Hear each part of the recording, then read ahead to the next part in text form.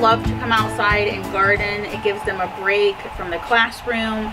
Um, they have told me they love to walk around the rain garden. They love to grow vegetables.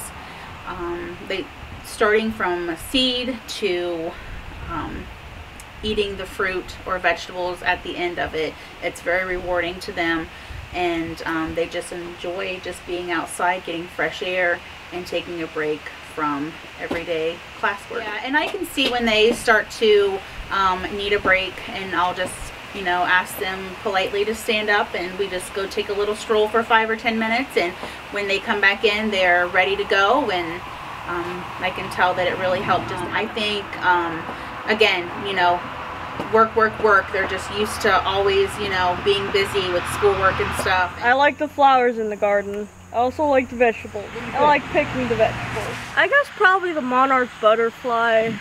I, I, I love being outside the garden and it's very relaxing out. I can get the fresh air and contribute into working on the garden with the other classmates.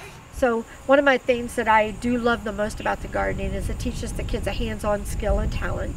Um, they actually get to get their hands dirty and mess with the sensory stuff and be comfortable with that. They uh, can learn from the benefits of what grows and what grows well and the difference between flowers and weeds. Um, when I was doing little gardens at my house, it took me a long while to figure out certain things were actually weeds and not um, flowers. But the other part of it I loved is the collaboration of the students.